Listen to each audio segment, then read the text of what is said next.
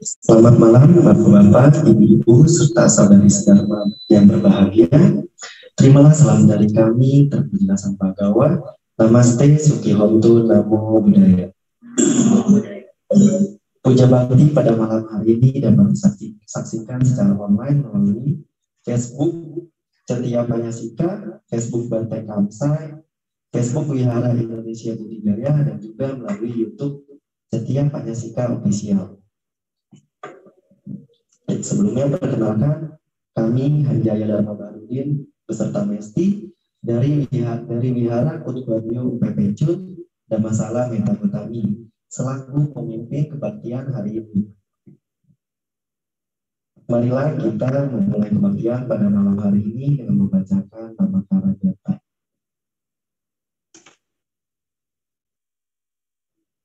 Araham sama sambuddho bhagava.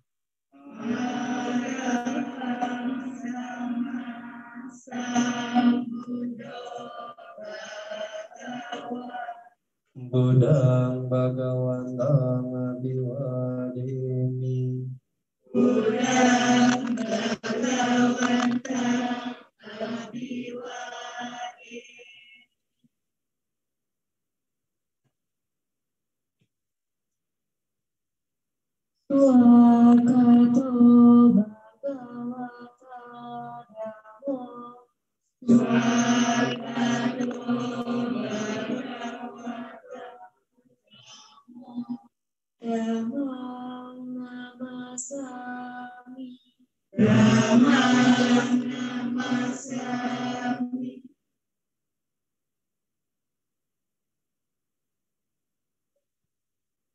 Namasami Upatipano Bhagavato Sawaka Sangho Upatipano Bhagavato Sawaka Sangho Sangham Namam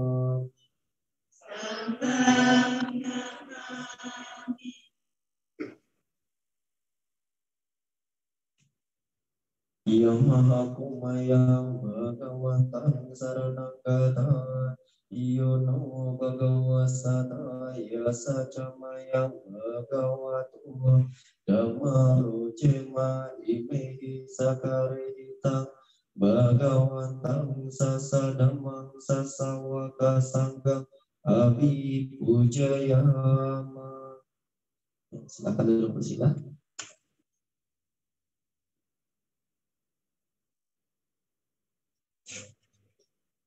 Kita melakukan permohonan Aradana Visarana Pancasila kepada Yang Mulia Bhikkhu Sangha dengan membacakan Tarita Aradana Visarana Pancasila pada halaman 86.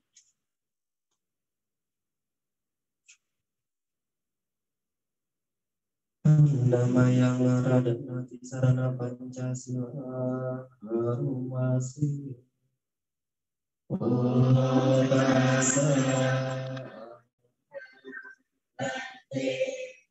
Isaraneta Saring Pancasila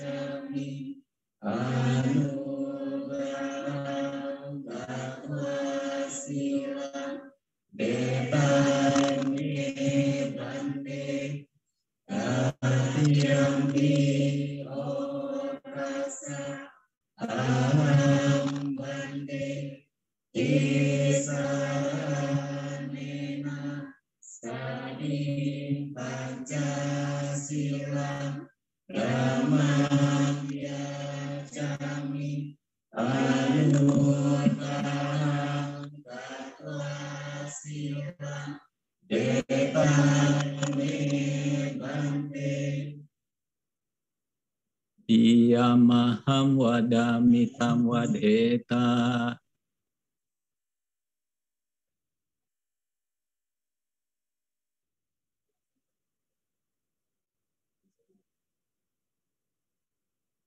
Damitam wadheta Namo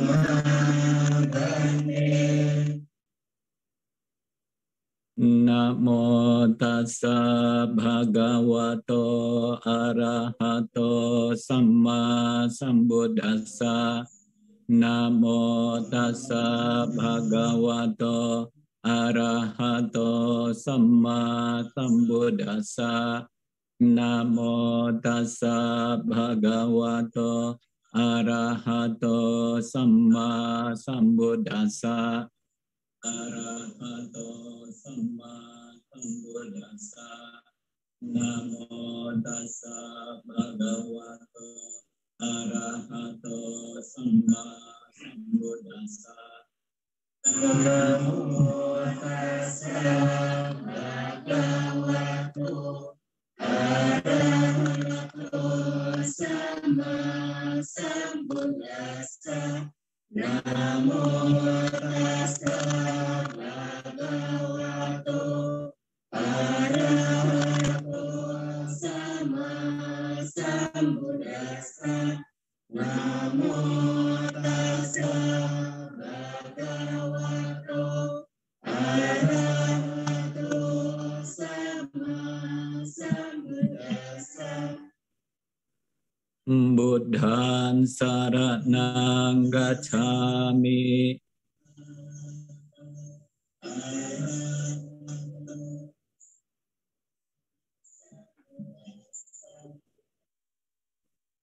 Buddhan saranang gacchami Buddhang saranang gacchami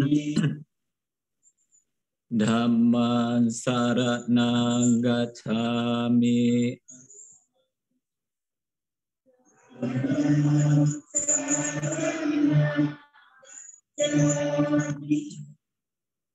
Sanghang saranang gacchami gacchami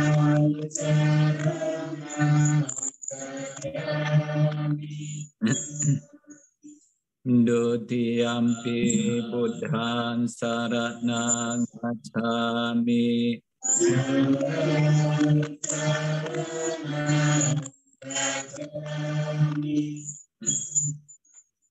gacchami Dutiyampi Buddhang saranang gacchami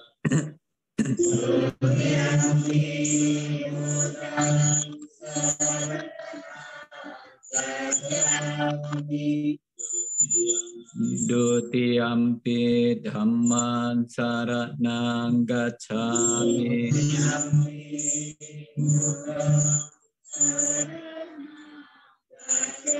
Dutiyampi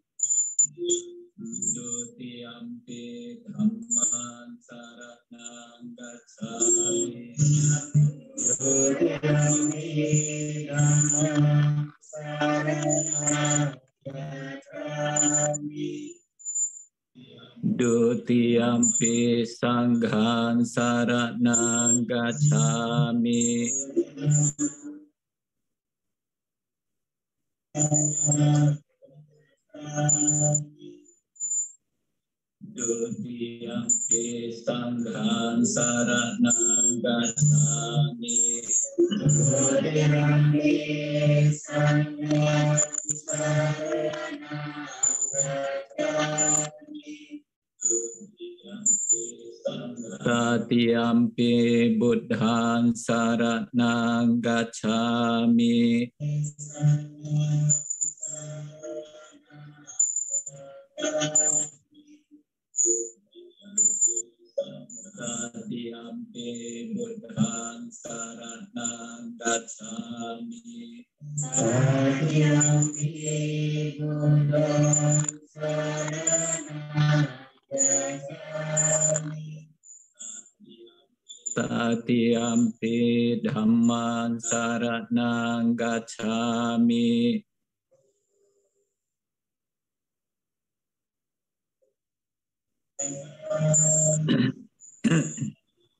Satiyampi Dhamman Saranang Gacchami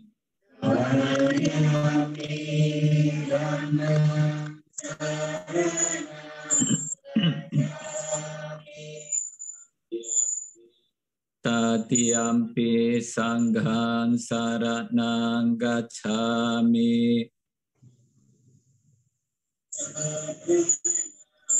Saranang Gacchami Tatiyampi Sanghan Saranang Gacchami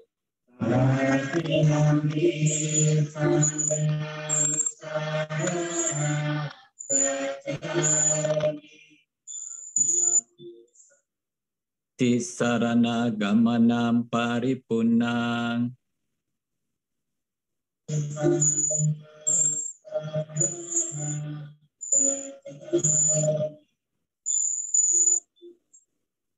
Tisarana Gamanam Paripunang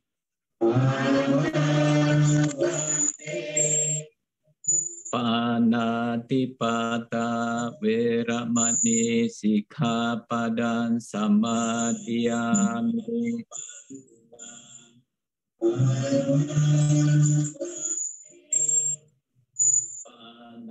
pati pada beramati sikha padan sama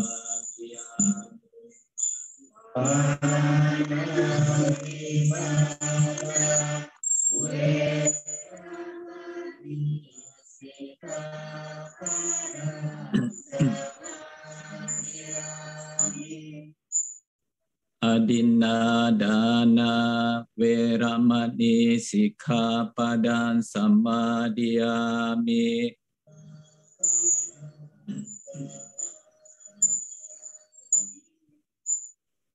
Adinadana Veramani Sikhapadan Samadhiyami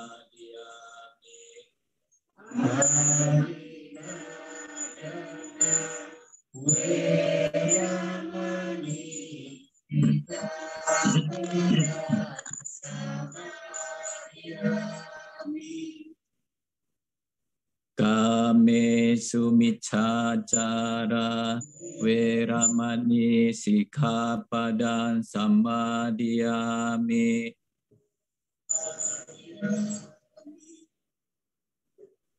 Kame sumichachara Veramani Sikhapadan Samadhiyami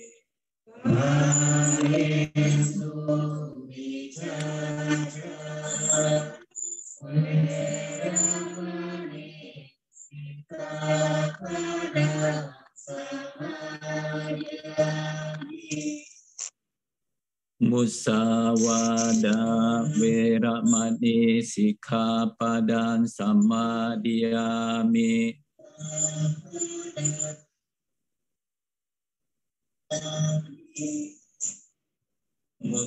මුසාවාදා වේරමණී සික්ඛාපදං සම්මාදියාමි මුසාවාදා වේරමණී Veramani Sikhapadan Samadhiyami Suramera Majapamadathana Veramani Sikhapadan Samadhiyami Suramera Majapamadathana Veramane Sikhapada Samadhyayami Surami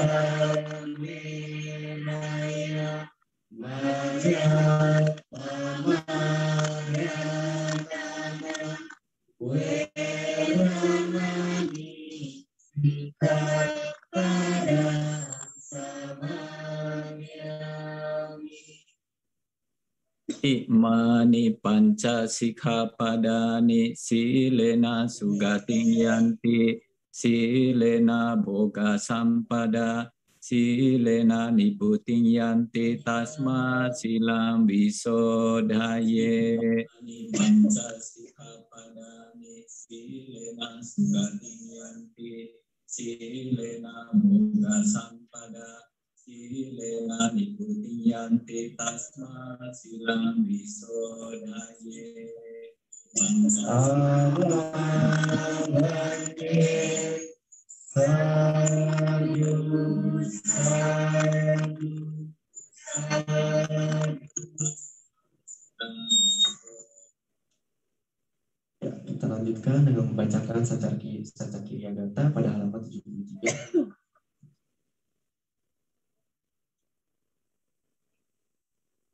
Annamayang Sacakirya Gatayo Panamase Nami Halaman 78 Karangnya Metasutta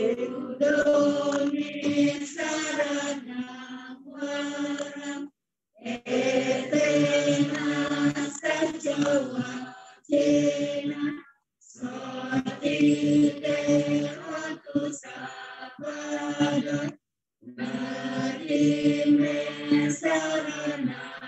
Karaniya Yantang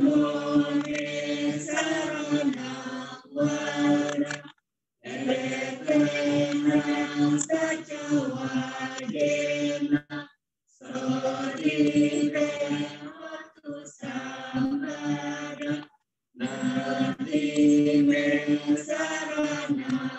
wujuja sujuja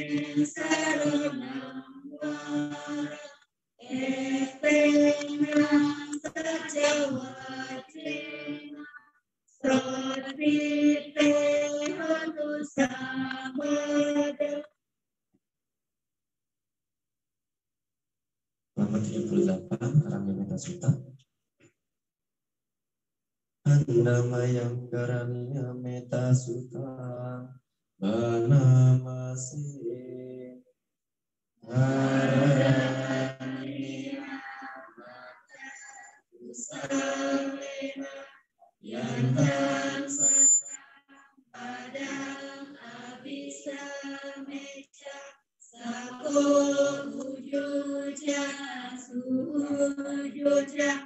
Suato jasa guru anakimani Santo sangoja subaroja Apati joja salahutawati Santi biroja nipakoja Apati bohulesua Sabe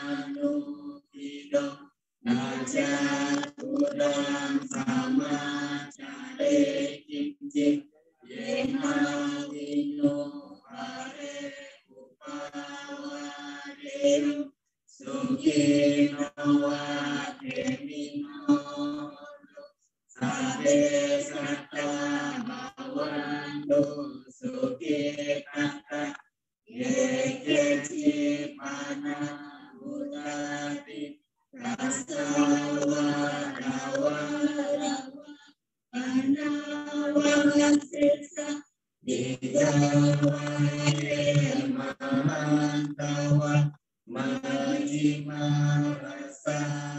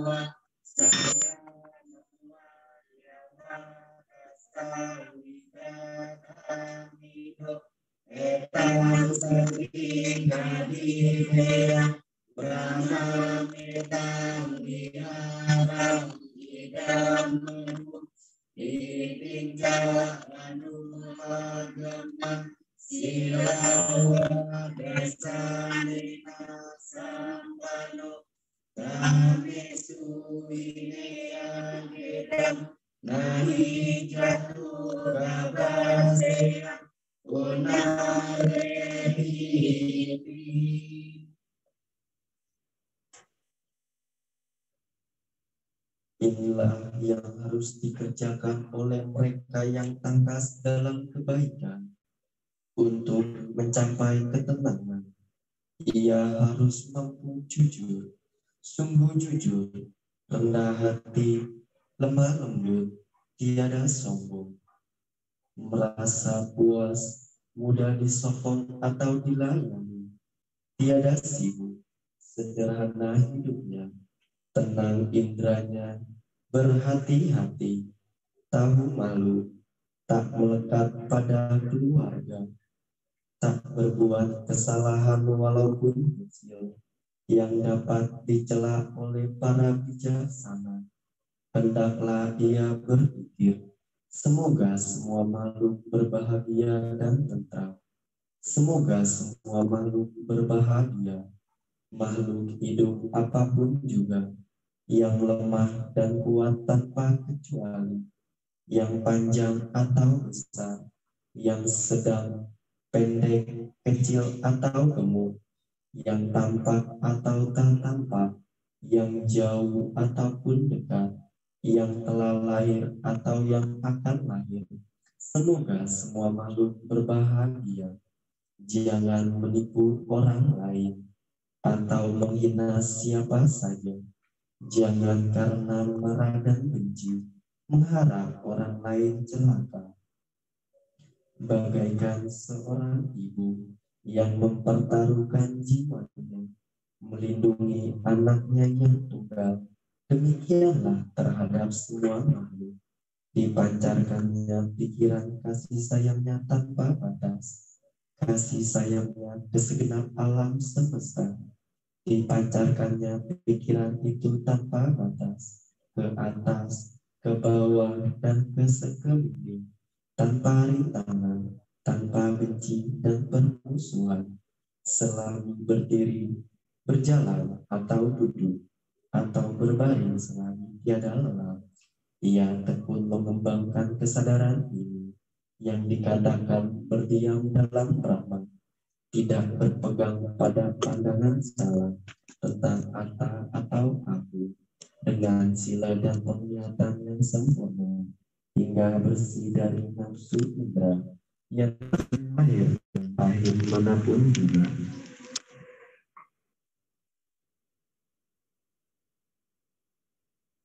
Selanjutnya kita buka kata halaman 141.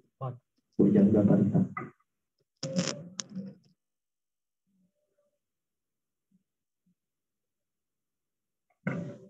Andamayang bojanggo palitang banama se Bojanggo sati sanggato damanang wicayo tata. Yang pertiwasani Ujang gajah tata balik sama dupe Eka bojangga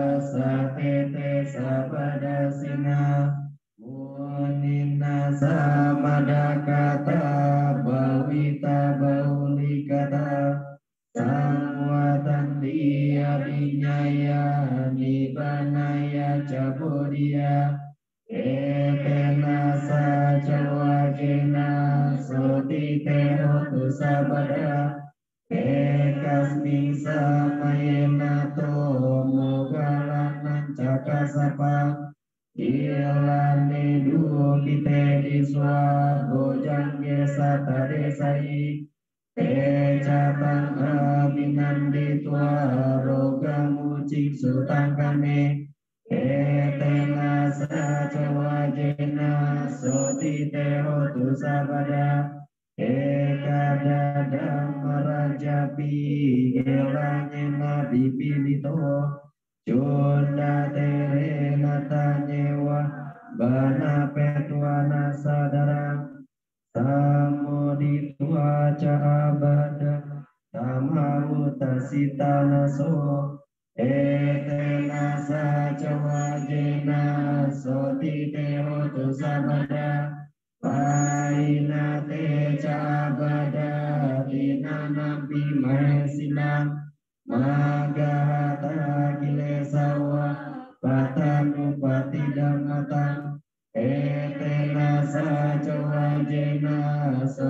teho tu sabada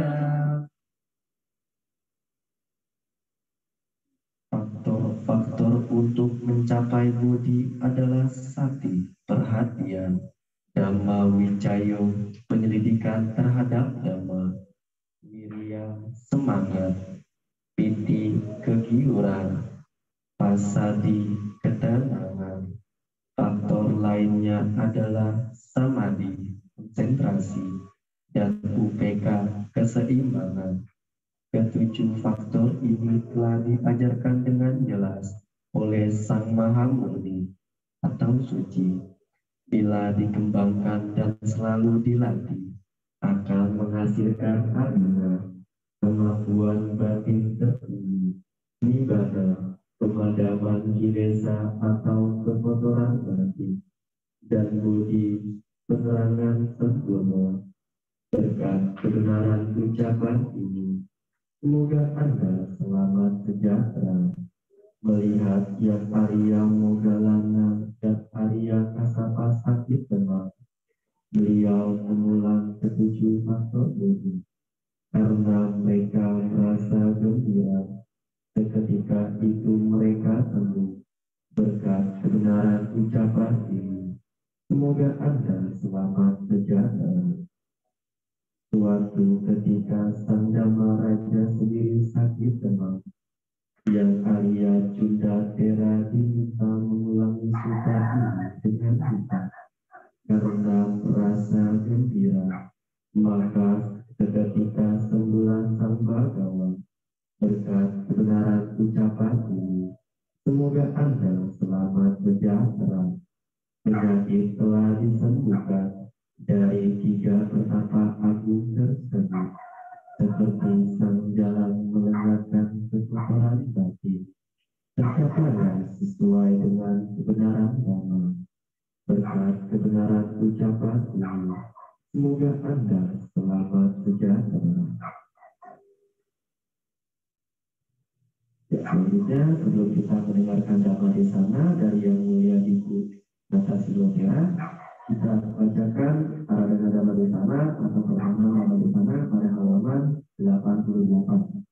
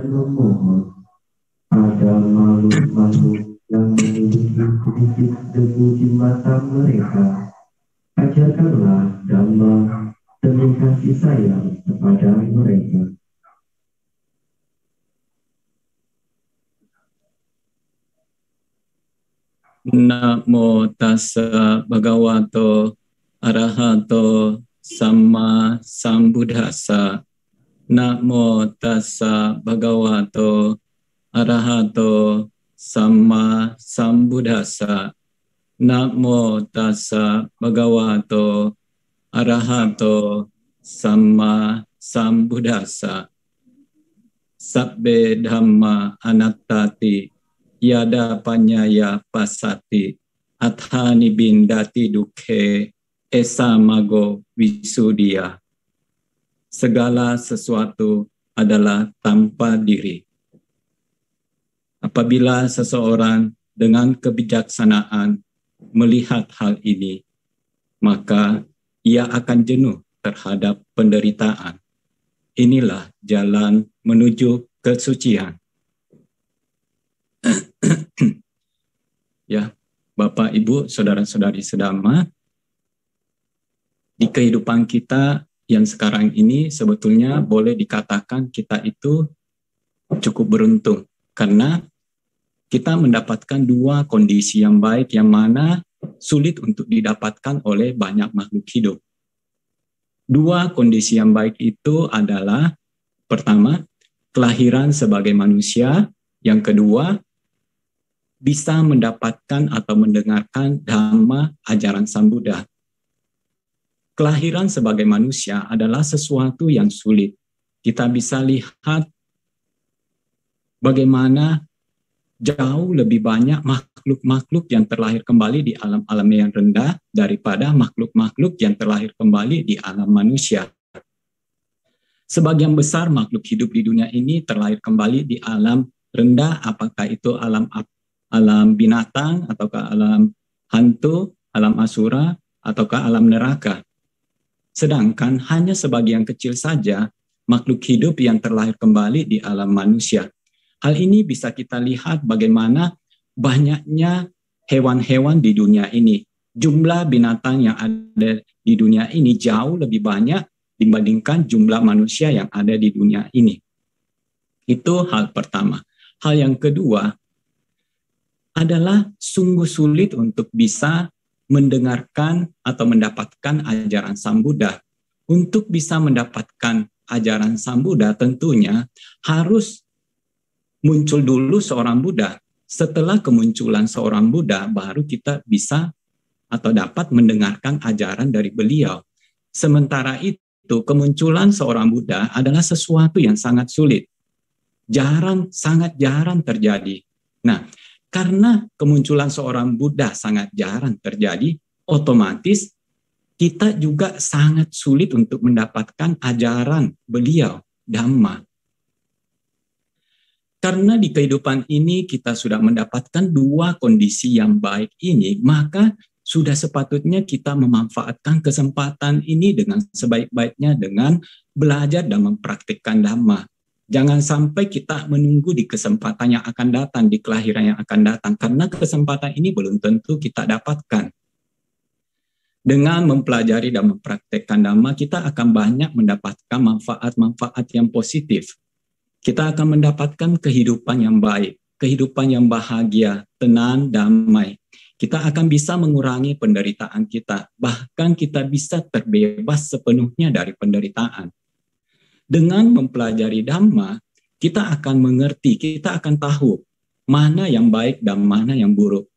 Mana perbuatan yang patut dilakukan dan mana perbuatan yang tidak patut untuk dilakukan.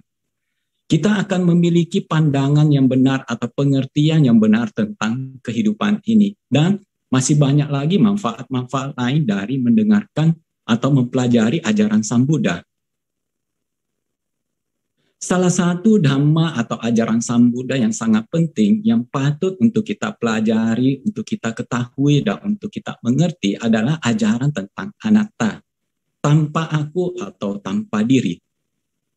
hakikat segala sesuatu di dunia ini adalah tanpa diri atau tanpa aku. Realitas ini merupakan kenyataan. Segala sesuatu, termasuk makhluk hidup, termasuk kita-kita ini, sebetulnya tidak memiliki aku, tidak memiliki diri. Tidak ada diri yang bisa kita temukan pada manusia ini. Penjelasan tentang karakteristik atau corak tanpa diri ini ada dijelaskan oleh Sang Buddha di dalam Anatta Lakana Sutta. Anat, di dalam an, Anatta Lakana Sutta ini merupakan khotbah kedua Sang Buddha setelah beliau mencapai pencerahan. Khotbah ini beliau sampaikan kepada lima orang biku yang dulunya merupakan lima orang petapa yang menemani beliau, yang melayani, yang melayani beliau ketika beliau masih menjadi seorang pertapa ketika beliau belum mencapai pencerahan. Pada waktu itu beliau melaksanakan praktek penyisaan diri, praktek pertapa menyiksa diri. Nah, di dalam anak Talakana Sutta ini, Sang Buddha menjelaskan kepada e, lima biku ini, menjelaskan tentang manusia seperti kita ini. Sang menjelaskan manusia seperti kita ini, awalnya itu dibagi di dalam lima kelompok kelompok badan jasmani, kelompok perasaan, kelompok persepsi, kelompok bentuk-bentuk pikiran, dan kelompok kesadaran. Nah, kemudian Sang pertama pertama-tama menjelaskan tentang kelompok badan jasmani. Sang menjelaskan kepada para biku, para biku, badan jasmani adalah tanpa diri atau tanpa aku, bukan aku. Kalau badan jasmani adalah aku, maka badan jasmani tidak akan menimbulkan penderitaan. Tetapi pada kenyataannya badan jasmani ini bisa menimbulkan penderitaan. Sehingga tidak layak badan jasmani ini disebut sebagai aku atau sebagai diri. Badan jasmani adalah bukan aku. Kalau badan jasmani ini aku, maka kita bisa memerintah badan jasmani ini sekehendak hati kita. Kita bisa menyuruh badan jasmani ini menjadi seperti ini. Badan jasmani jangan menjadi seperti ini. Kenyataannya, kita tidak bisa menyuruh badan jasmani kita sesuai kehendak hati kita. Kita tidak bisa membuat badan jasmani kita tetap sehat. Kita tidak bisa membuat badan jasmani kita tetap kuat. Kita tidak bisa membuat badan jasmani kita menjadi besar atau kecil sekehendak hati kita. Kita tidak bisa membuat badan jasmani kita untuk tidak sakit. Kita tidak bisa membuat badan jasmani kita untuk tidak lelah. Nah, karena kenyataan ini, di mana kita tidak memiliki kekuasaan sepenuhnya atas badan jasmani ini, sehingga tidak layak kita menganggap, tidak layak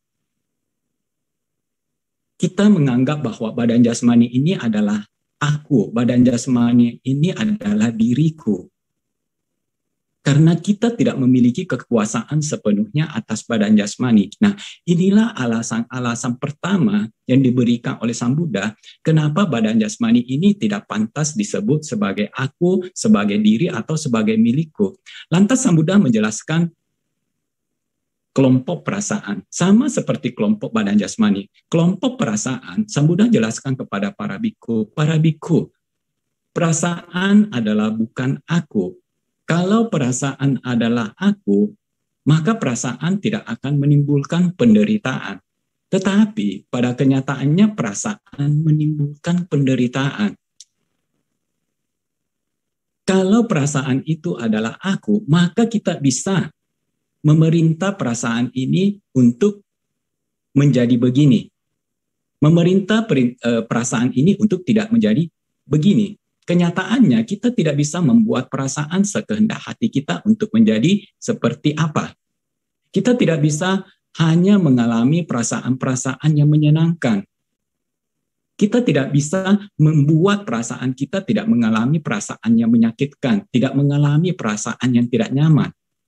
Karena kenyataan inilah makanya tidak pantas kita menyebut perasaan ini sebagai aku, Perasaan ini sebagai diriku, perasaan ini sebagai milikku. Sang Buddha lantas menjelaskan tentang eh, kelompok persepsi, Kemudian menjelaskan tentang kelompok bentuk-bentuk pikiran dan kelompok kesadaran di mana setiap kelompok itu adalah bukan aku, tidak pantas atau tidak layak kita sebut sebagai aku dengan alasan-alasan yang sama. Sang Buddha menjelaskan lebih lanjut dengan memberikan pertanyaan kepada para bikhu. Para bikhu, apakah badan jasmani ini kekal atau tidak kekal?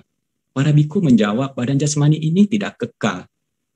Apakah sesuatu yang tidak kekal bisa bertahan atau tidak bisa bertahan? Tidak bisa bertahan, Bante. Apakah sesuatu yang tidak kekal, yang tidak bisa bertahan, yang tunduk pada perubahan, pantas atau layak disebut sebagai aku, milikku, diriku. Tidak pantas, Bante. Nah, di sini perlu kita perhatikan. Sang mengatakan tunduk pada perubahan, bukan tunduk pada diri kita loh. Kalau tunduk pada perubahan, berarti bukan milik kita, bukan diri kita, bukan tunduk pada kita. Kalau tunduk baru pada kita, mungkin kita pantas menyebutnya sebagai aku, sebagai milikku, sebagai diriku. Tetapi kenyataannya badan jasmani ini tidak tunduk pada kemauan hati kita. Badan jasmani ini tunduk pada perubahan. Begitu pula dengan perasaan para biku. Perasaan ini kekal atau tidak kekal. Para biku menjawab tidak kekal Bante Apakah sesuatu yang tidak kekal itu bisa bertahan atau tidak bisa bertahan? Tidak bisa bertahan Bante. Apakah sesuatu yang tidak kekal, yang tidak bisa bertahan, yang tunduk pada perubahan, pantas atau layak disebut sebagai aku, milikku, diriku? Tidak layak Bante. Nah, kembali Bante tekankan di sini bahwa perasaan ini tidak tunduk pada diri kita. Perasaan ini tunduk pada perubahan, sehingga tidak layak kita menganggap perasaan ini sebagai aku, milikku, diriku. Begitu pula dengan kelompok-kelompok yang lain. Apakah itu kelompok persepsi, apakah itu kelompok bentuk-bentuk pikiran ataupun kelompok kesadaran. Semuanya itu tidak pantas disebut sebagai aku, sebagai diriku, sebagai milikku. Tidak ada pada manusia ini yang bisa kita temukan diri tidak ada diri pada manusia ini, sehingga kita tidak pantas melihat manusia ini sebagai aku, milikku, diriku. Nah, ketika kita telah mengetahui hakikat dari manusia ini, realitas sesungguhnya dari manusia ini yang tanpa diri, tanpa aku, maka sudah seharusnya kita memandang manusia ini sebagai bukan aku, bukan milikku, bukan diriku. Apakah itu ketika kita melihat badan jasmani. Apakah itu ketika kita melihat perasaan? Apakah itu ketika kita melihat persepsi, melihat bentuk-bentuk pikiran, ataukah melihat kita memandang semuanya itu sebagai bukan aku, bukan milikku, bukan diriku. Apabila seorang yang bijaksana melihat segala sesuatu sebagai bukan aku, bukan milikku, bukan diriku, maka pada dirinya akan muncul kejijikan terhadap manusia ini, terhadap badan jasmani, terhadap perasaan, terhadap bentuk-bentuk pikiran, terhadap persepsi, dan terhadap kesadaran. Ketika kejijikan muncul, mun, kemudian muncullah kebosanan atau ketidaktertarikan kepada manusia ini melalui ketidaktertarikan ini atau melalui kebosanan inilah batinnya terbebas. Ketika batinnya terbebas, ia mengetahui bahwa ia telah terbebas. Muncul pemahaman di dalam dirinya bahwa tumimbal lahir telah tiada. Kehidupan suci telah terlaksana. Sesuatu yang apa yang harus dilakukan telah dilakukan. Tidak ada lagi kewajiban untuk pencapaian sanja, sanjalan. Nah, dari apa yang Sang Buddha jelaskan tentang hakikat dari manusia ini, hakikat dari segala sesuatu, realitas sesungguhnya dari manusia ini yang tanpa diri atau tanpa aku, bisa kita ketahui bahwa kita itu tidak layak tidak layak menyebut diri kita sendiri sebagai aku, sebagai milikku, atau sebagai diriku. Tetapi karena kebodohan batin, sebagian besar makhluk hidup di dunia ini menganggap bahwa ada aku pada makhluk hidup ini. ada diriku, ada milikku. Begitu kuat pandangan ini yang menganggap adanya aku sampai-sampai pandangan ini dianggap sebagai kebenaran. Pandangan ini dilekatin dengan sangat kuat sampai-sampai sangat sulit untuk bisa menghancurkan pandangan salah ini. Sebagian besar manusia memiliki pandangan salah ini hanya ada di dalam ajaran Sang Buddha yang mengajarkan tentang hakikat sebenarnya dari manusia ini. Hakikat sebenarnya dari segala sesuatu yaitu tanpa diri atau tanpa aku. Bapak, Ibu, Saudara-saudari sedharma, kalau kita ingin terbebas dari penderitaan, kalau kita ingin terbebas dari lingkaran kelahiran dan kematian, kalau kita ingin terbebas dari samsara, lingkaran tumimbal lahir, maka kita pertama-tama harus merubah dulu pandangan hidup kita, pandangan sehubungan dengan sehubungan dengan adanya aku. Kalau kita ingin mempraktekkan ajaran Sang Buddha, maka biasakanlah diri kita untuk melihat segala sesuatu sebagai bukan aku, bukan milikku, bukan diriku. Karena kita itu sering melihat segala sesuatu dihubungkan dengan aku, Ketika kita beli mobil, kita menganggap sebagai mobilku, mengenal hal itu sebagai mobilku. Ketika kita membeli pulpen, kita mengenal hal itu sebagai pulpenku. Ketika kita menikah dengan seseorang, kita mengenal hal itu sebagai suamiku atau istriku. Ketika kita melahirkan, kita menganggap anak itu sebagai anakku. Demikianlah kita sering memandang sesuatu sebagai aku, milikku, atau diriku. Nah, kita telah mengetahui bahwa hakikat sebenarnya dari segala sesuatu itu adalah tanpa aku atau tanpa diri. Tetapi kita harus menggunakan pandangan ini di dalam kehidupan kita sehari-hari. Bukan hanya sekedar tahu pada saat ini, pada saat mendengarkan ceramah atau pada saat-saat tertentu. Tetapi kita harus menggunakan pandangan ini di dalam kehidupan sehari-hari. Ketika kita beraktivitas, kita harus melihat dari sudut pandang bahwa bukan aku, bukan diriku, bukan milikku.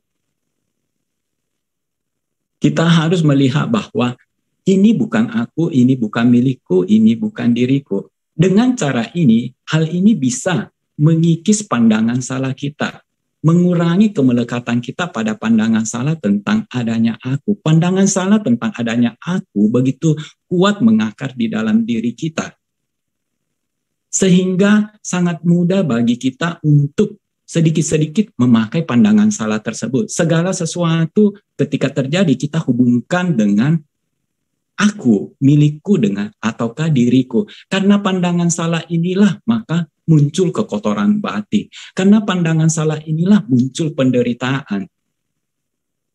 Pandangan salah tentang aku ini membuat munculnya kekotoran batin. Ketika ada seseorang yang memukul kita. Karena pandangan salah adanya aku, kita berpikir, aku dipukuli, aku dilukai, aku disakiti. Karena berpikir yang didasari oleh adanya aku, makanya kekotoran batin berupa kemarahan muncul. Coba kalau kita tidak berpikir bahwa aku dipukul, aku dilukai, aku disakiti. Kita hanya tahu bahwa ada fenomena dipukul, ada fenomena disakiti. Nah, pada saat kita tahu demikian, tidak akan muncul yang namanya kemarahan, kekesalan, atau kejengkelan. Pada saat anak kita misalnya meninggal, karena pandangan tentang adanya aku ini membuat kita sedih, kekotoran batin muncul. Coba kalau anak lain yang meninggal, kita tidak bakal sedih. Kenapa demikian? Karena kita tidak menganggap anak orang lain itu sebagai anakku. Tetapi ketika anak kita meninggal, kita menjadi sedih. Kenapa? Karena pandangan tentang aku tersebut ada di dalam diri kita. Kita menganggap bahwa anak itu sebagai anakku. Kalau kita menganggap anak itu bukan sebagai anakku, maka kesedihan itu tidak muncul. Nah, demikianlah kenyataan hidup ini, di mana pandangan salah tentang aku ini yang membuat kita terus terlahir di alam di berbagai macam alam-alam kehidupan. Karena pandangan salah tentang aku ini yang membuat kita melakukan berbagai macam perbuatan. Karena pandangan salah tentang aku inilah yang membuat kita mau menjadi ini ataukah mau menjadi itu. Karena pandangan salah tentang aku inilah yang membuat kita ingin seperti ini ataukah ingin seperti itu. Jadi, kalau kita ingin terbebas dari penderitaan, ingin terbebas dari lingkaran kelahiran dan kematian, ingin terbebas dari samsara ini, praktekkanlah dhamma ajaran Sang Buddha. Rubahlah pandangan hidup kita, rubahlah pandangan kita yang mana menganggap adanya aku ini. Pandanglah segala sesuatu itu sebagai bukan aku, bukan diriku, bukan milikku. Pandangan tentang bukan aku ini sangat penting. Kita perlu melihat segala sesuatu di dunia ini sebagai bukan aku. Hal ini ada dijelaskan di dalam Cula Sacaka Sutta di dalam Cula Sacaka Sutta ini, Sang Buddha menjelaskan kepada Sacaka bagaimana hakikat sebetulnya dari manusia ini yang tanpa aku atau tanpa diri. Kemudian bagaimana cara mempraktekkan ajaran dari Sang Buddha tersebut supaya kita bisa terbebas dari penderitaan, supaya kita bisa terbebas dari samsara ini. Nah, Dikatakan di dalam Cula Sacaka Sutta, pada waktu itu Sang Buddha sedang berada di Vesali. Dan pada saat yang sama, Sacaka, seorang pendebat, seorang tukang debat yang hebat, seorang yang pandai berbicara, dan banyak orang menganggap dia itu orang suci, juga ada atau juga berada di Vesali. Nah, suatu hari Sacaka dengan sombongnya melakukan pernyataan di depan orang-orang Vesali. Ia katakan demikian, saya tidak menemukan adanya seorang pertapa atau brahmana, pemimpin kelompok, pemimpin aliran, guru kelompok, orang yang mengaku telah sempurna, telah tercerahkan sempurna, yang tidak terguncang, yang tidak menggigil, yang tidak yang tidak gemetar, yang tidak berkeringat kalau terlibat perdebatan dengan dia. Bahkan tiang yang mati sekalipun akan terguncang, akan menggigil, akan gemetar kalau terlibat perdebatan dengan dia, apalagi manusia. Itulah pernyataan sombong dari si Sacaka ini kepada orang-orang Besali. Nah, di suatu pagi, ketika Bante Asaji sedang berpindah patah. Pada saat Bante Asaji berpindah patah, Bante Asaji ini bertemu dengan Sacaka, si tukang debat ini, yang ahli dalam berdebat.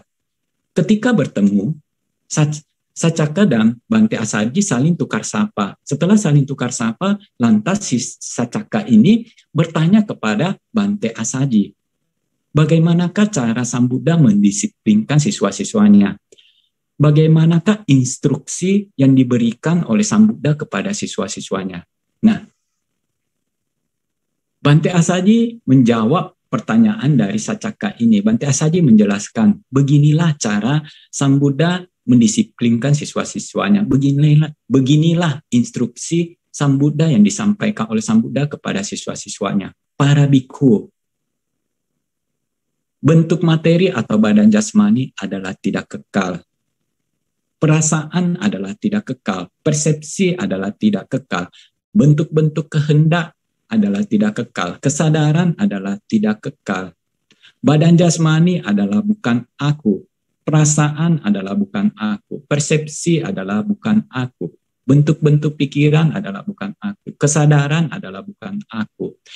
Segala sesuatu yang berkondisi adalah tidak kekal. Segala sesuatu adalah tanpa diri atau tanpa aku.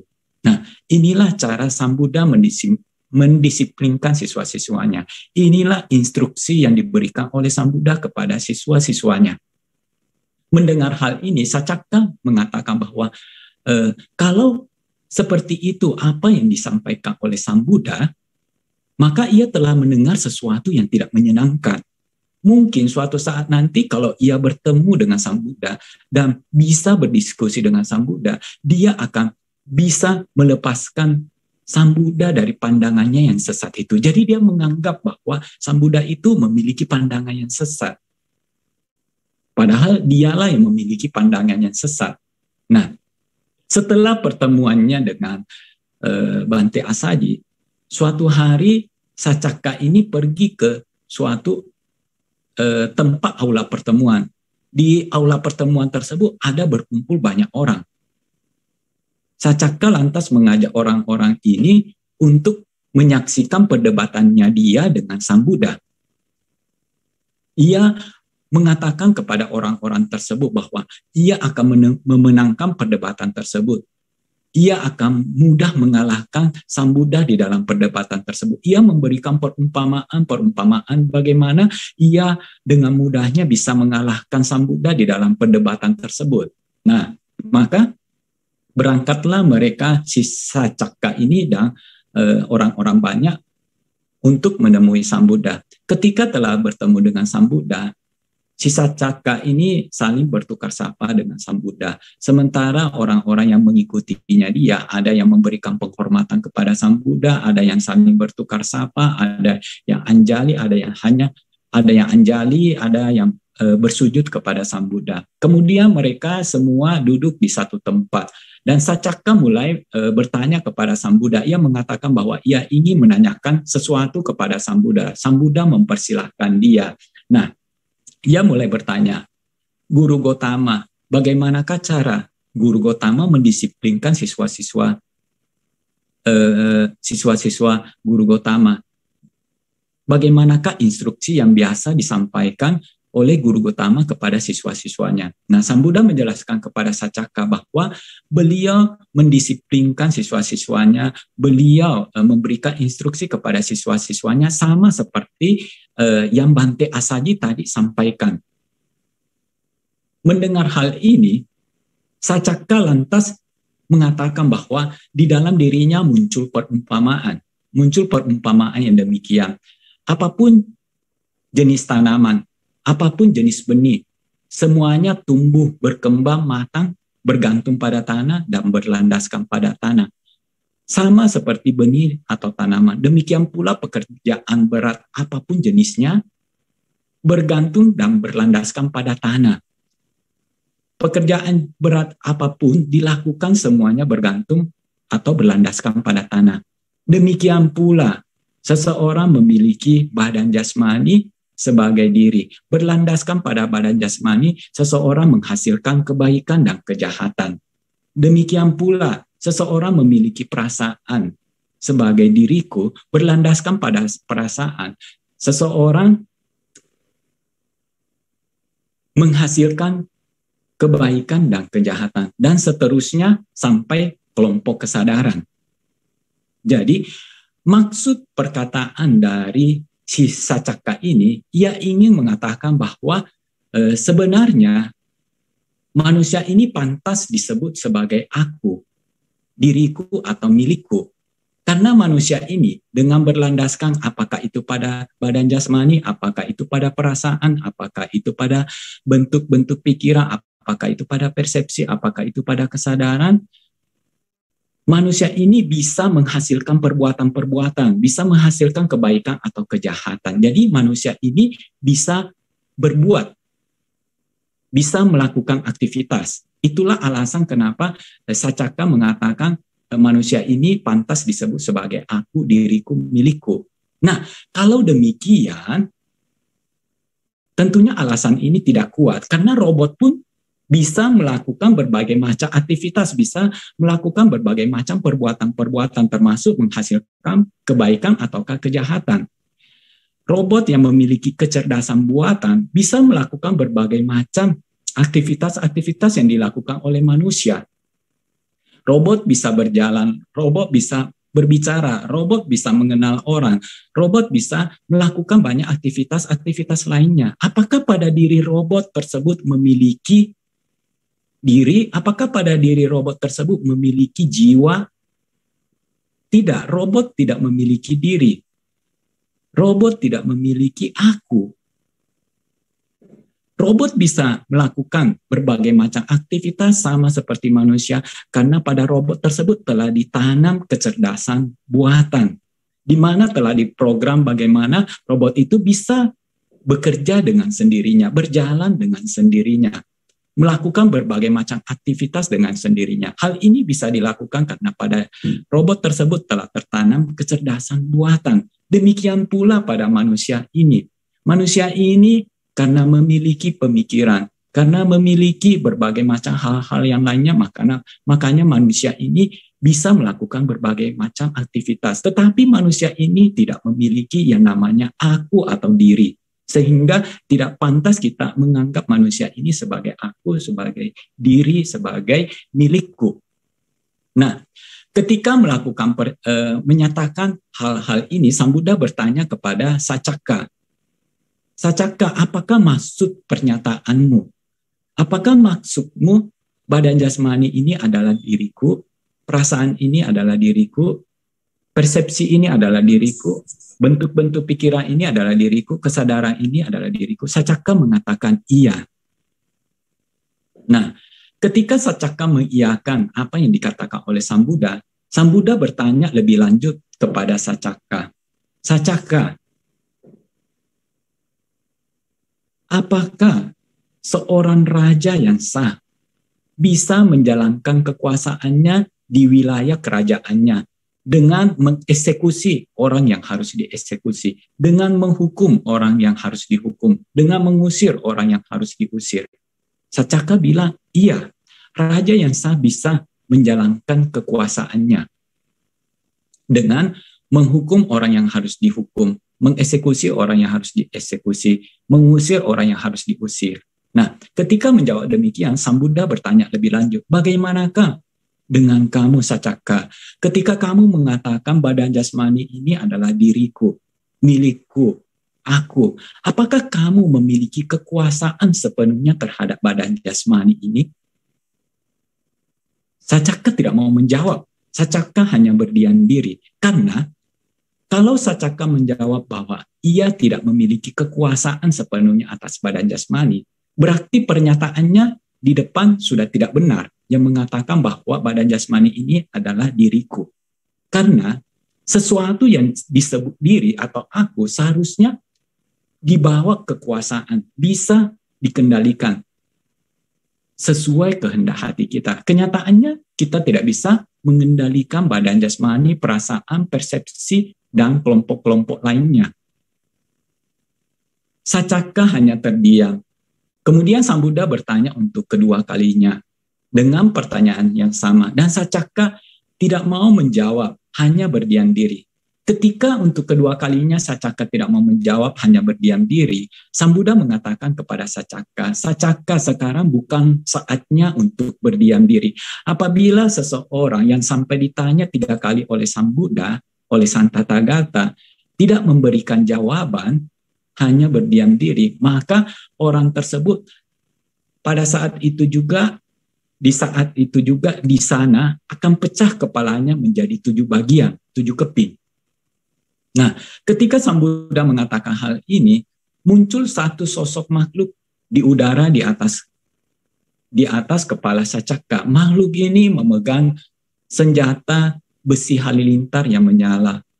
Yang menyala, berpijar, berkobar. Makhluk ini siap memukul kepala Sacaka. Apabila Sacaka tidak mau menjawab pertanyaan Sang Buddha. Nah, Sacaka melihat makhluk ini, Sacaka langsung ketakutan, ia ngeri. Ia lantas mau ia lantas meminta perlindungan kepada Sang Buddha dengan cara mengatakan kepada Sang Buddha, Guru Gotama silahkan bertanya, saya akan menjawab apa yang Guru Gotama tanyakan. Nah, Sang kemudian mengulang pertanyaannya. Bagaimana menurut Musa Caka? Kamu mengatakan bahwa badan jasmani ini adalah diriku, milikku, adalah aku. Apakah kamu menjalankan kekuasaan sepenuhnya atas badan jasmani ini? Sacaka menjawab tidak. Nah, ketika menjawab tidak ini, berarti tidak benar apa yang telah dikatakan oleh Sacaka di awal. Tidak benar badan jasmani ini sebagai adalah aku, adalah diriku, adalah milikku.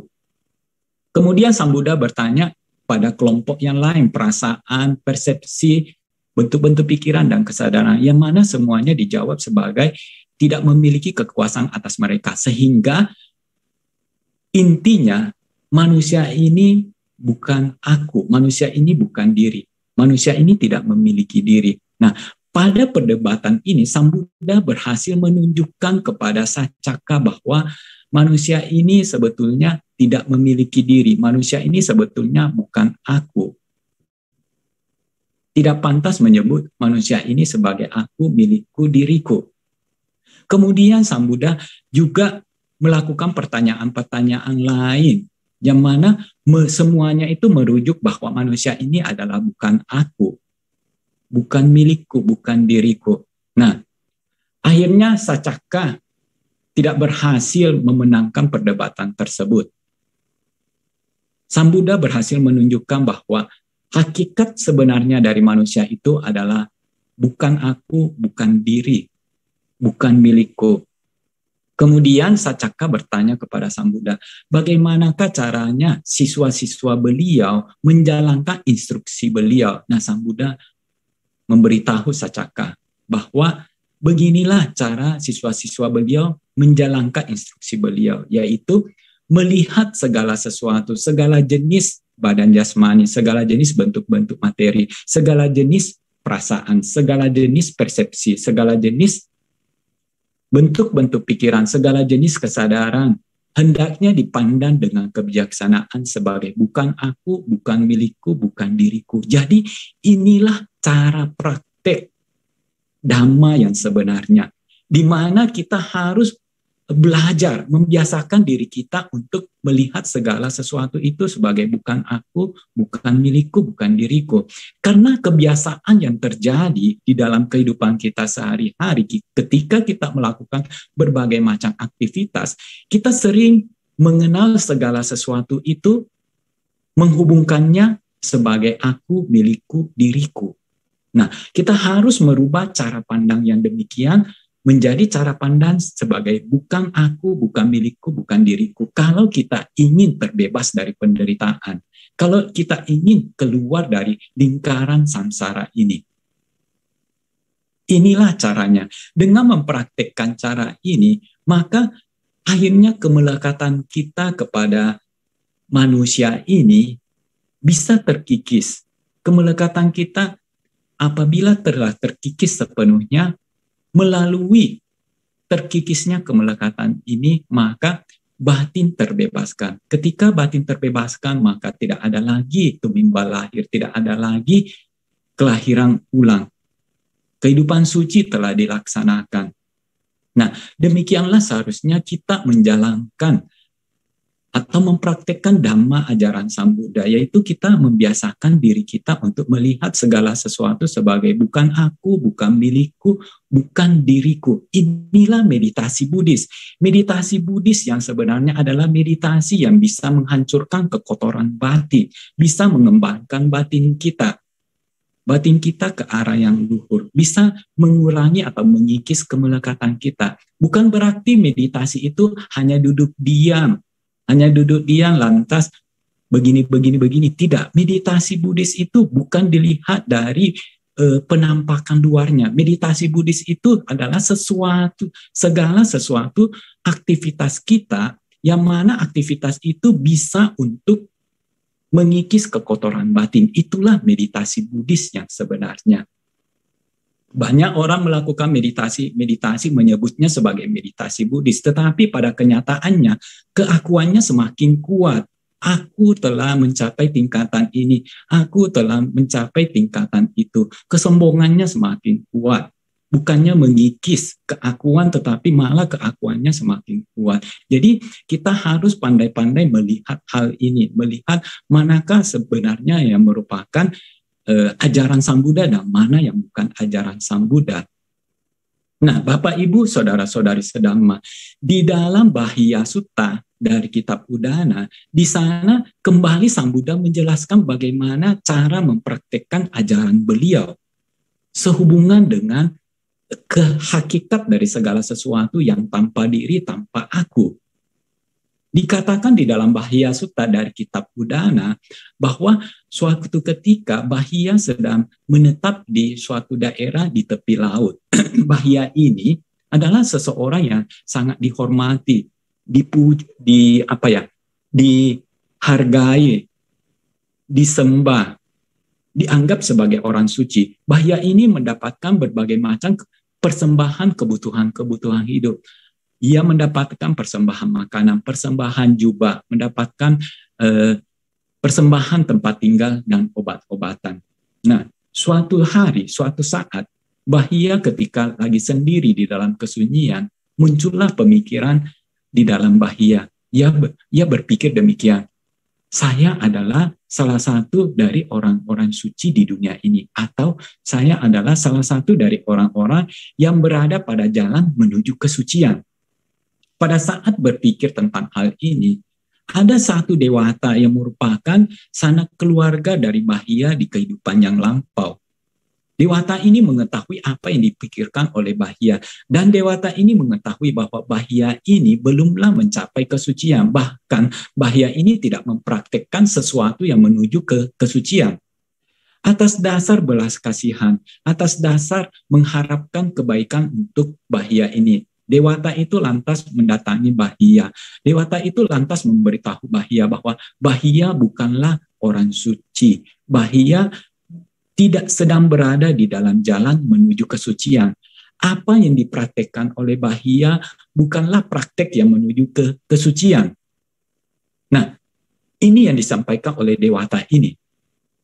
Bahia lantas bertanya kepada Dewata ini, lantas siapakah yang merupakan orang suci di dunia ini. Dewata itu mengatakan di Sawati. Pada saat ini ada Sang Buddha. Sang Buddha adalah orang yang suci dan Sang Buddha mengajarkan dhamma atau ajaran yang menuju ke kesucian. Pergilah ke sana. Maka pada saat itu juga Bahia langsung berangkat ke Sawati menuju ke wihara Anatapindika di hutan Jeta. Bahia begitu semangat ingin mendapatkan ajaran dari Sang Buddha sehingga dia berusaha secepat mungkin untuk bisa tiba di Vihara Anatapindika di hutan Jeta di Sawati. Nah, akhirnya Bahia ini berhasil tiba di Vihara Anatapindika. Pada waktu itu ia tiba di pagi hari dan ia melihat bagaimana eh, para biku sedang berjalan mondar mandir di tempat terbuka di Wihara Anatapindika. Ia lantas bertanya kepada para biku tersebut, di manakah Sang Buddha sedang berada? Para biku mengatakan bahwa Sang Buddha sedang pergi berpindah patah. Maka Bahia pun lantas pergi mencari Sang Buddha yang sedang berpindah patah. Ketika Bahia berhasil bertemu dengan Sang Buddha, ia menghampiri Sang Buddha kemudian bersujud kepada Sang Buddha. Setelah selesai bersujud memberikan penghormatan, Bahia lantas memohon kepada Sang Buddha untuk mengajarkan dhamma, untuk menguraikan dhamma demi kebaikan, demi kebahagiaannya untuk waktu yang lama. Sang Buddha lantas mengatakan kepada Bahia bahwa sekarang ini bukanlah saatnya yang tepat. Sekarang ini Sang Buddha dan biku-biku yang lain sedang berpindah patah kami sedang berpindah patah. Bahia untuk kedua kalinya memohon kepada Sang Buddha untuk menguraikan dhamma, untuk membabarkan dhamma untuk dirinya. Bahia mengatakan bahwa adalah sulit untuk mengetahui bah bahaya bagi kehidupan Sang Bagawa ataukah bahaya bagi kehidupan saya. Sudilah kiranya Bante untuk menguraikan dhamma untuk membabarkan dhamma demi kebaikan, demi kebahagiaan saya untuk waktu yang lama. Tetapi kembali Sang Buddha mengatakan, sekarang bukanlah saatnya te yang tepat. Sekarang kami sedang berpindah patah. Kemudian untuk ketiga kalinya Bahia memohon kepada Sang Buddha untuk membabarkan dhamma kepada dirinya demi kebaikannya dia, demi kebahagiaannya dia untuk waktu yang lama. Nah, akhirnya setelah tiga kali dimohon seperti itu, Sang Buddha lantas mengatakan kepada Bahia, Bahia, beginilah seharusnya kamu melatih, berlatih diri. Di dalam apa yang dilihat, hanya ada apa yang dilihat. Di dalam apa yang didengar, hanya ada apa yang didengar. Di dalam apa yang dicerap, hanya ada apa yang dicerap. Di dalam apa yang dikenali, hanya ada apa yang dikenali. Ketika kamu melatih diri seperti ini, maka engkau tidak akan bersama itu. Karena engkau tidak akan bersama itu, maka engkau tidak akan berada di dalam itu. Karena engkau tidak akan berada di dalam itu, maka engkau tidak akan berada di sini ataukah di alam berikutnya. Inilah akhir dari penderitaan. Nah, maksud perkataan Sang Buddha dengan mengatakan, dengan berlatih seperti ini, maka engkau tidak akan bersama itu. Maksudnya engkau di sini adalah pandangan salah tentang aku. Engkau itu adalah aku. Aktivitas melihat sekedar melihat, mendengar sekedar mendengar adalah aktivitas yang kosong dari aku, yang hampa dari aku. Jadi ketika kita melihat hanya sekedar melihat, mendengar hanya sekedar mendengar, pada saat itu tidak ada pandangan tentang aku muncul. Pada saat itu tidak ada aku yang melihat. Pada saat itu tidak ada aku yang mendengar. Jadi inilah praktek-praktek Buddhis, inilah praktek-praktek Dhamma ajaran Sang Buddha di mana kita praktek membiasakan diri kita tidak menggunakan pandangan tentang aku. Jadi ketika kita tidak menggunakan pandangan aku, ketika itulah kita kosong dari aku, kok hampa dari aku, tanpa aku. Di dalam kehidupan kita sehari-hari, kita sering kali melakukan berbagai macam aktivitas bersamaan dengan adanya aku. Aku yang menyanyi, aku yang merasakan, aku yang berpikir, aku yang melakukan, dan sebagainya. Jadi kita harus membiasakan diri kita kosong dari pandangan salah tentang aku ini. Kita seharusnya tidak memakai pandangan tersebut, yaitu menganggap segala sesuatu atau menghubungkan segala sesuatu sebagai aku, milikku, diriku. Inilah cara praktek Buddhis. Inilah cara mempraktekkan Dhamma ajaran Sang Buddha. Nah, setelah Sang Buddha memberikan instruksi, memberikan petunjuk, memberikan Dhamma, yang singkat ini, Sang Buddha lantas pergi meninggalkan Bahia. Nah, tidak lama setelah Sang Buddha meninggalkan Bahia, Bahia diserang oleh seekor sapi yang mengakibatkan Bahia meninggal pada saat itu juga. Setelah Sang Buddha selesai berpindah patah dan memakan makanan hasil pindah patah, Sang Buddha bersama dengan rombongan biku kembali ke wihara. Di dalam perjalanan kembalinya Sang Buddha melihat jenazah adanya jenazah dari Bahia ini. Lantas Sang Buddha menyuruh para biku untuk mengangkat jenazah tersebut dan mengkremasi jenazah dari Bahia ini. Setelah para biku mengkremasi jenazah dari Bahia, para biku itu lantas bertanya kepada Sang Buddha, Bante, ke manakah kelahiran berikut dari Bahia ini? Sang Buddha berkata, bahwa Bahia ini adalah orang yang bijaksana. Bahia ini mempraktekkan dhamma ajaran yang sesuai, dhamma ajaran yang benar. Bahia ini telah terbebaskan sepenuhnya. Nah, berarti tiada lagi tumimba lahir bagi Bahia ini. Kehidupan suci telah terlaksana. Nah, inilah inilah cara-cara kita kalau kita ingin mempraktekkan dhamma ajaran Sang. Inilah cara meditasi. Kita harus bermeditasi di mana kita membuang pandangan tentang aku. Kita harus memakai pandangan bahwa ini bukan aku, ini bukan milikku, ini bukan diriku. Inilah cara praktek yang benar. Eh, Bapak, Ibu, Saudara-saudari sedama, inilah penjelasan tentang hakikat sebenarnya dari segala sesuatu yang tanpa diri atau tanpa aku. Semoga apa yang Bante sampaikan tentang anatta ini bisa bermanfaat bagi kita semua. Akhir kata, Sabbe Sata Bhawantu Sukitata. Semoga semua makhluk hidup berbahagia.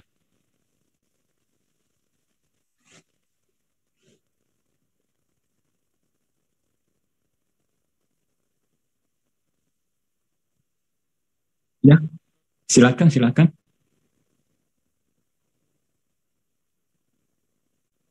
Uh, Di sini ada beberapa pertanyaan. Pertanyaan yang pertama dari Pak Limli, Namo Buddhaya Bante, boleh beri penjelasan isu mengenai wimuti? Kita berapa lama untuk mencapai wimuti? Seharian kit- dan seharian kita meneliti perkara, perkara hal setiap hari semua tidak kekal dalam hati kita, atau kita eh, mengabaikan secara harian dan bagaimana baga- bagaimana bila kita tercapai kehidupan suci ini. Terima kasih Bante. Eh, sorry, bisa bisa diulang nih. Agak sulit dimengerti pengertian eh, pertanyaannya ya. Eh, maksud wimuti di sini bagaimana ya? Wimuti di sini eh, di dalam berapa lama kehidupan Bante untuk mencapai wimuti mungkin ya dan Apa pengertian wimuti itu? eh, bagaimana mencapai apa kesucian Bante jalan menuju mencapai kesucian maksudnya berapa lama untuk beliau eh, mencapai kesucian ini Bante Berapa lama yang dibutuhkan untuk mencapai kesucian? iya Eh, ada berapa pertanyaan sih ini? ini ada di di sini ada dua pertanyaan Tidak dari dari dari orang yang sama ini dia ada nanyakan berapa pertanyaan. hanya satu Bante Hanya tidak sepertinya tadi ada beberapa ya. beberapa orang lain Satu atau beberapa ya. Bukan bukan dari orang yang sama ini eh, dia tanya berapa pertanyaan? dua Bante Du- dua ya. Eh, pertanyaannya yang pertama berapa lama untuk Yang mencapai pertama, kesucian? eh, boleh memberikan penjelasan mengenai wimuti Wimuti. Oh, Iya, wimuti. kalau wimuti saya nggak ngerti bahasa Pali itu. Bahasa Pali nggak ngerti. Wimuti Oke. itu apa? Heeh. Jadi eh, kemudian berapa lama? Jadi dalam hal wimuti ini kalau kita bilang kan apa cara untuk mencapai kesucian itu berapa lama di dalam kehidupan kita untuk meneliti, merenungkan ya di sini merenungkan hal-hal yang tidak kekal di dalam batin. Ya. Sehingga kita mencapai hidup yang suci. Nah ini yang kedua Bante. Terima kasih. Ya. Oke, oke. Ya, eh, berapa lama kita harus mempraktekkan dhamma untuk mencapai kesucian? Nah, mempraktekkan dhamma tentunya jangan kita eh, pilah-pilah di dalam waktu. Kita harus mempraktekkan dhamma sebisa sebisa mungkin. Ketika kita memiliki kesempatan untuk mempraktekkan dhamma, gunakanlah kesempatan tersebut. Ketika tidak kita tidak memiliki kesempatan tersebut, ya nggak usah biarkan aja lewat. Nah, jadi kita misalnya meditasi 24 jam. Ketika kita tidur tentunya kita tidak bisa meditasi. Ketika kita eh, melakukan aktivitas-aktivitas tertentu seharusnya bisa, seharusnya bisa. Tetapi kalau seandainya tidak bisa tidak apa-apa, dilewatkan aja. Intinya kita hanya berusaha, berusaha tanpa batin ini terasa terbebani.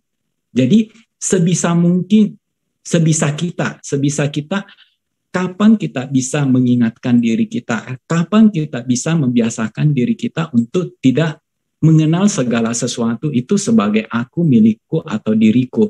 Kapan kita bisa mengenal segala sesuatu sebagai bukan aku, bukan milikku, bukan diriku. Jadi kita berusaha dengan cara-cara yang mudah untuk kita lakukan sehingga kita menikmati praktek tersebut. Jangan terlalu memaksakan diri. Kalau kita terlalu memaksakan diri, akhirnya nanti eh, kita akan berhenti. Kita akan merasa sulit. Kok ini nggak bisa, nggak bisa bisa tercapai. Intinya kita punya keinginan, punya keinginan lantas berusaha di dalam kehidupan sehari-hari, tetapi usahanya jangan dipaksakan semampu kita, sebisa kita. Dan jangan memilah-milah waktu kapan untuk bermeditasi, kapan bukan untuk bermeditasi. Di mana pun kita mampu, kita bisa, maka pakailah waktu itu untuk meditasi. Misalnya lagi mengerjakan sesuatu, tiba-tiba muncul kemarahan. Kenalilah kemarahan tersebut sebagai bukan aku yang marah. Bukan aku, bukan diriku yang marah, tetapi kenalilah ada fenomena marah yang muncul. Nah, demikian. Jadi kita tidak melabel sesuatu itu sebagai aku, diriku, milikku. Tetapi kenalilah sebagai bukan aku, bukan milikku, bukan diriku. Biasakan mengenali segala sesuatu, mengidentifikasi segala sesuatu itu sebagai bukan aku, milikku, dan diriku. Nah, demikian jawabannya Bante. Kira-kira mengena enggak ya? Nah, Wimuti itu eh, Bante terus terang kurang ngerti arti dari wimuti. Mungkin eh, si penanya boleh menjelaskan dalam bahasa Indonesia. Jadi biar Bante bisa eh, nyambung jawabannya ya. Ya demikian. Baik Bante, pertanyaan berikutnya ada pertanyaan dari Fungli. Nama budaya Bante, mengapa yang terlahir di alam sorga maupun di alam yang bawah atau bukan alam bukan manusia tidak dapat lagi atau sangat sulit mendengarkan dhamma. Kenapa hanya manusia yang bisa mendengarkan dhamma? Terima kasih. Uh, sebenarnya uh, untuk mendengarkan dhamma itu uh, sulit karena kelahiran dari seorang Buddha itu adalah sangat jarang sangat jarang atau sangat sulit. Alam-alam rendah karena kemampuan mereka karena kemampuan mereka tidak sama seperti kemampuan manusia, makanya mereka sulit untuk bisa mendengarkan ajaran Sang Buddha. Di alam binatang mereka tidak mengenal bahasa manusia. Di alam alam-alam neraka mereka banyak penderitaan sehingga untuk mendengarkan dhamma itu mereka sangat sulit. Untuk mendapatkan dhamma itu mereka sangat sulit. Sementara di alam-alam rendah yang lain, mereka sebagian itu kondisinya tidak mendukung untuk mendapatkan ajaran Sang Buddha sehingga sulit untuk bisa mendengarkan ajaran Sang Buddha. Sementara di alam-alam yang tinggi seperti alam dewata, alam-alam dewata itu masih memungkinkan untuk mendapatkan ajaran Sang Buddha. Kenapa ajaran Sang Buddha itu sulit untuk didapatkan?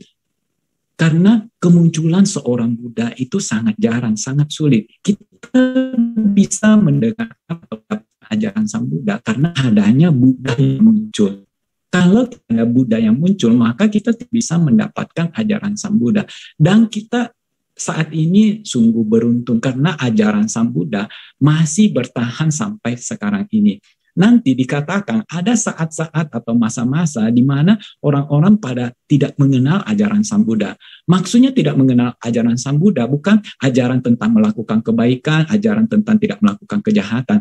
Tetapi mengenal ajaran Sang Buddha di sini adalah ajaran Sang Buddha sehubungan dengan jalan menuju ke kesucian, jalan untuk terbebas dari lingkaran tumbuh lahir. Kalau ajaran tentang tidak berbuat jahat, eh, berbuat kebaik, banyak-banyak berbuat baik, ajaran itu banyak didapat di mana-mana. Tetapi ajaran untuk keluar dari samsara ini hanya ada di dalam Buddhis. Ajaran tentang anatta ini hanya ada di dalam Buddhis. Ajaran-ajaran di luar Buddhis semuanya itu mengajarkan konsep tentang atta, adanya atta, adanya aku. Bante belum pernah menemukan ajaran di luar Buddhis yang yang mengajarkan tentang hakikat sebenarnya dari segala sesuatu adalah tanpa diri. Hanya di dalam ajaran Sang Buddha Bante dapatkan hal ini. Ya, demikian eh, jawabannya Bante. Baik, pertanyaan dari uh, Koriki. Bante, Namo Buddhaya mohon pencerapan. Aku muncul dari mana? Dan aku ada di mana? Terima kasih. Uh, sorry, boleh ulangi pertanyaannya? Mohon pencerahan. Mohon pencerahan. Aku, Atta, ini muncul ya. dari mana? Iya. Kemudian aku ada di mana?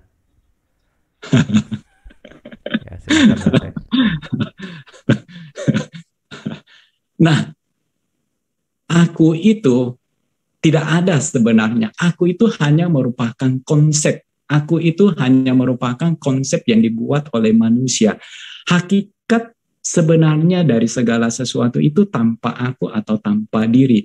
Jadi aku itu muncul dari pikiran kita sendiri, dari konsep itu sendiri, dari pandangan kita sendiri. Jadi aku itu bukan sesuatu. Aku itu hanyalah konsep yang dibuat oleh makhluk hidup. Hanyalah bukan hakikat sebenarnya dari segala sesuatu. Jadi tidak ada aku. Aku itu tidak ada karena tidak ada aku. Jadi munculnya itu ya muncul dari pikiran kita sendiri, pandangan kita. Demikian jawabannya Bante. Baik Bante, terima kasih dan pertanyaan yang terakhir dari Facebook dari Ibu Rani. Selamat malam Bante, Namo Buddhaya. Saya Rani, izin bertanya bagaimana caranya kita mengubah pandangan salah kita tentang keakuan kita agar tidak terikat dengan anata. Terima kasih, selamat malam. Nah, kita sudah mengetahui hakikat sebenarnya dari segala sesuatu yaitu tanpa diri atau tanpa aku. Tetapi sekedar mengetahui akan hal ini belum tentu bisa langsung merubah pandangan tentang aku ini yang telah berakar kuat di dalam diri kita, yang ada di bawah sadar kita. Untuk mengikis pandangan salah tentang aku, kita harus merubah kebiasaan-kebiasaan kita. Kita harus membiasakan diri kita untuk melihat segala sesuatu itu sebagai bukan aku, bukan diriku, bukan milikku. Jadi perlu praktek membiasakan diri atau kita praktek membiasakan diri kosong dari aku, pemikiran kosong dari pemikiran tentang aku. Misalnya aku yang berkata, aku yang melihat, aku yang mendengar. Jadi kita harus membiasakan diri kosong dari pandangan tersebut, pandangan tentang aku. Karena hakikat sebetulnya memang tidak ada aku untuk merubah pandangan tersebut yang berada di bawah sadar kita, yang berada di dalam diri kita, ya kita harus merubah dulu. Membiasakan diri kita melihat segala sesuatu sampai kebiasaan ini berakar kuat di dalam diri kita. Ketika kebiasaan ini, pandangan ini telah berakar kuat di dalam diri kita, nah, maka pandangan ini akan mengganti pandangan salah tentang adanya aku ketika pandangan salah, belenggu pandangan salah ini telah dipatahkan, maka pada saat itu juga kita telah mencapai kesucian. Nah, demikian jawabannya Bante. Jadi harus membiasakan diri e, memandang segala sesuatu itu sebagai bukan aku, bukan milikku, bukan diriku. Ataukah memandang segala sesuatu e, kosong dari aku, hampa dari aku. Jangan memakai pandangan aku, jadi ketika kita berpikir, biasakan kita berpikir menganggap sesuatu itu bukan aku. Aku yang ceramah, aku yang mendengarkan. Itu sebetulnya eh, kalau dilihat dari hakikat sebenarnya tidak tepat. Ya, demikian. Ada lagi yang yang ditanyakan. Baik, Bante. Untuk pertanyaan sudah selesai. Dan mungkin Bante mau minta tolong untuk pelimpahan jasa karena biasanya Bapak Ibu di rumah menyiapkan air dan gelas untuk oh, melakukan pelimpahan okay, jasa. Okay, okay. Terima kasih Bante. Ya, ya oke. Okay. Ya, eh, Bapak Ibu, saudara-saudari sedama, eh, sekarang eh, mari kita bersama-sama tekadkan di dalam pikiran Semoga jasa-jasa perbuatan baik yang telah saya lakukan melimpah pada semua sanak keluarga saya yang telah meninggal, semua leluhur saya, dan juga semua makhluk yang mempunyai hubungan karma dengan saya. Semoga mereka semua turut menikmati jasa-jasa kebajikan tersebut Semoga mereka semua turut berbahagia atas pelimpahan jasa ini. Diulang-ulang tekad baiknya.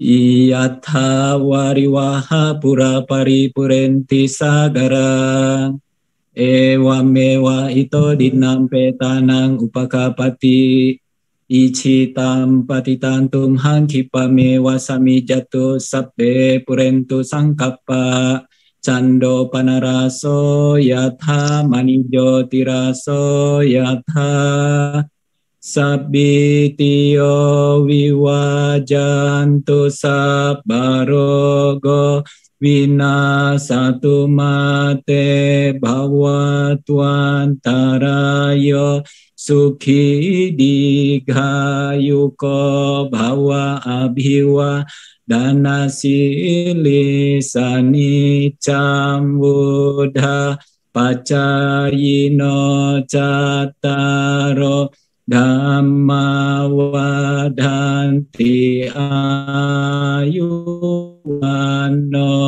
sukhang balang ayudo balado dhiro wanado patibanado sukhasada tamedhavi sukhanso adigacati ayundatwa balang wanan sukhanca patibanado digayuya sawahoti yatha yathu papa jati iti bhavatu sabamanggalang rakhantu sabba dewata sabba buddhanubhavena sada soti bhavantu te bhavatu sabamanggalang rakhantu sabba dewata Sabba dhammanubhavena sada soti bhavantu te bhavatu sabba manggalang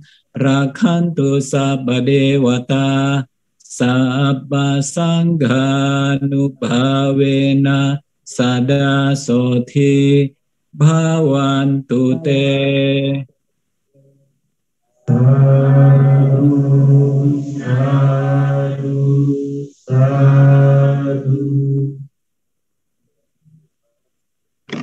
Ya, kita bersama-sama dulu kita melakukan penghormatan kepada yang mulia Bante Nakajilo sebagai bentuk ucapan terima kasih atas seri dharma yang telah disampaikan. Di saat pemulia Bante menyebutkan kokasa, secara bersama-sama kita menyebutkan wadami Bante. Kokasa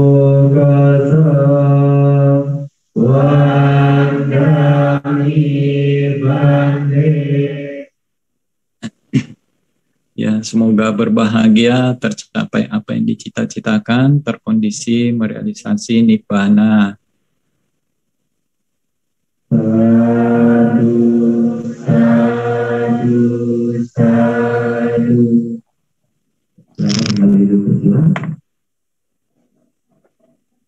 Sebelum kita menutup puja bakti pada malam hari ini, kita lakukan pimpah jasa dengan membacakan Parita Patidana pada halaman 166.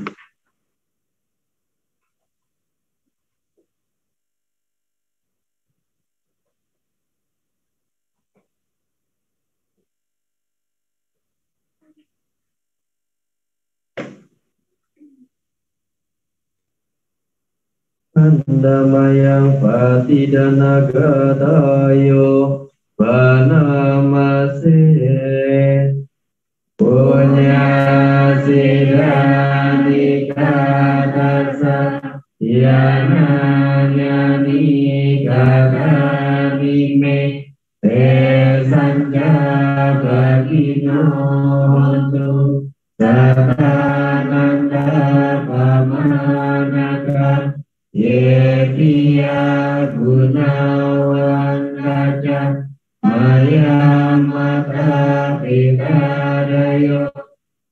ตามิจัพยาติตาวะอานิมาจาตทวีริโนสัทธาติทานิโลกัสมิเอวุมาจัตุยานิตาปัญเจกัจตุโอกา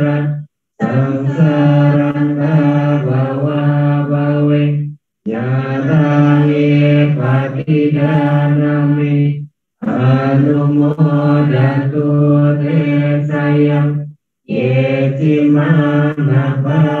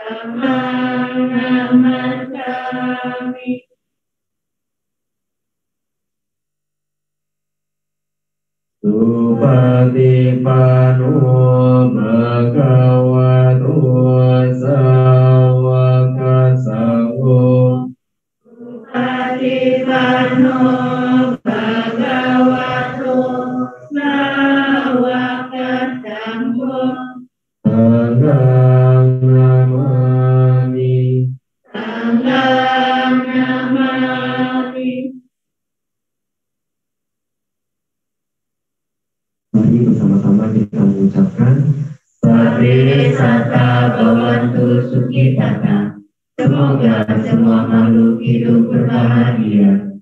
Satu, satu, satu.